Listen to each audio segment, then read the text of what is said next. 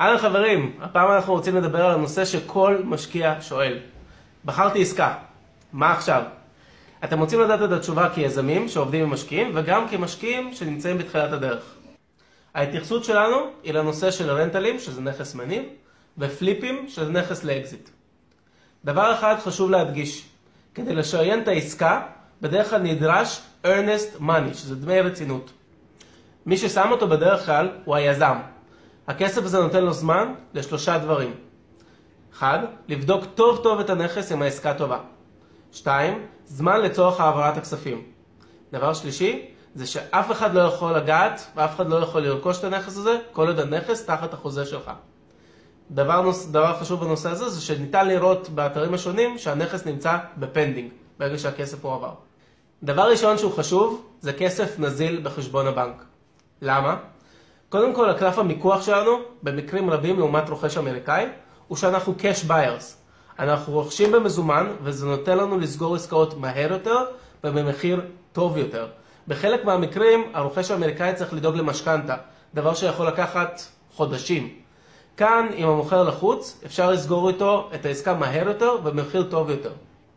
דבר שני, יש תאריך סגירת עסקה.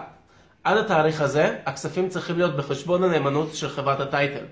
אם הכספים לא מגיעים על התאריך הזה, יכולים לקרות מספר דברים. דבר ראשון, העסקה יכולה להתבטל.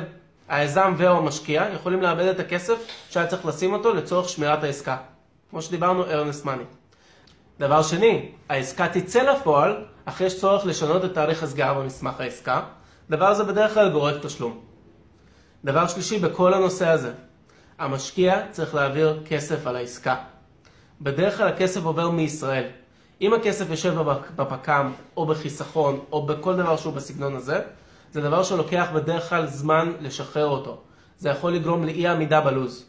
בנוסף, העברת כסף דרך הבנק, או מקור אחר שמעביר כספים, יש לו רגולציה שלא פעם מעכבת את הדברים. נקודה נוספת שחשוב לזכור בנושא של זמנים, הוא שבישראל בדרך כלל, מיום חמישי בצהריים, לא מתבצעות העברות כספים לארצות הברית. ובארצות הברית, לפני יום שני, אין פעילות של הבנקים. מה שאומר ששלוש וחצי ימים בשבוע הם חסרי פעילות. ואם יש לנו 21 יום לסגירת עסקה, 10 ימים מתוכם אינם בפעילות. נכון. אז יש כסף נזיל בחשבון, בסדר? אז השלב הבא בעצם זה לשלוח את כל הנושא של הפרטים אישיים. בדרך כלל, אם אתה יזם, אתה מעביר את כל הפרטים האישיים לחברת ה title, אתה אומר להם, זה הולך להיות בעל הנכס, זה סכום העסקה, ואת כל הפרטים שחשובים. בדרך כלל היזם מבקש מהמשקיע צילום אה, דרכון וצילום אה, רישיון נהיגה, זה מאוד תלוי מה חברת ה title מבקשת. במידה ואתם רושמים את הנכס על ה-LLC שלכם, אם פתחתם LLC, מי שלא יודע זה, זה כבר משהו אחר בפני עצמו, אז צריך לשלוח את ה-Operation Agreement שיראו שבעצם ה-LLC הוא legit. מומלץ בדרך כלל גם שה-LLC יהיה רשום באותו מקום שהנכס נמצא, לא, לא מחייב. אוקיי? אז זה נושא של פרטים אישיים, להעביר כמה שיותר פרטים, בשביל שהמידע שיגיע לחברת טייטל יהיה אמין ומדויק. נקודה שלישית זה בעצם נושא של אה, חתימת חוזה, בין אם זה מול היזם, המשקיע צריך לחתום מול היזם, מה שצריך כמשקיע לראות בעצם על מה אתם חותמים, תראו שהסכום עסקה נכון של מה שסיכמתם רשום שם בחוזה בצורה מסודרת, רשום לאן אתם מעבירים את הכספים, זה חשוב בשביל הבנקים, אוקיי? ובעצם כל הפרטים שלכם ושל היזם רשומים מא' עד ת' כמו שצריך בצורה מסודרת. ברגע שחתמתם על זה בעצם זה מסמך שהוא אה, חוקי וכנגדו אתם יכולים איתו, בעצם סליחה, ללכת איתו לבנק לצורך העברת כספים.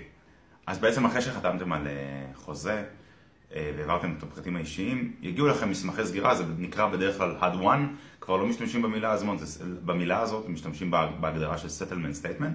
יגיע לכם מסמך סגירה, שהוא כולל בתוכו בדרך כלל שלושה עמודים, רוב המקרים כיוון שאנחנו קש בייר נקבל שני עמודים מתוך שלושה, כי העמוד השלישי מתייחס למשכנתאות, אני אומר את זה off the record, בסדר? העמוד הזה בעצם, אתם מקבלים אותו כמשקיעים, ואתם מסתכלים שכל הפרטים האישיים שלכם נכונים. יש שם את השם של הקונה ויש את השם של המוכר, ובכל צד מפורט בעצם אה, כל, איך הכסף בעצם מחולק. כמה כסף עולה הבית, כמה עובר לשיפוץ, עמלה, אה, מיסים, עורך דין, עלויות סגירה, ויש את ה total, אתם צריכים לבדוק שקודם כל ה total נכון, אה, וכל הפרטים האחרים שסגרתם עם היזם גם נכונים, אלא אם כן מדובר על סגירה טיפה שונה, double closing או דברים כאלה, אז פחות, יש פחות מידע. בעמוד השני בעצם יש פירוט של מה קורה בעמודה שלכם כקונים. זה מסביר את זה טיפה יותר לעומק. אבל רק אני ממש חשוב לי, תסתכלו על המסמך הזה, תגידו, אוקיי, המסמך הזה טוב, אתם צריכים לחתום עליו. רק אחרי שתחתמו עליו, אוקיי, אתם יכולים להעביר כספים אה, לחברת נאמנות. אחרי שחתמתם, אתם יכולים להעביר את זה לחברת הנאמנות, את ה, את ה, או ליזם, את החוזה הזה, וזה יכול להיות חתימה אלקטרונית, אין שום בעיה עם זה, לא חייבת להיות חתימה רטובה.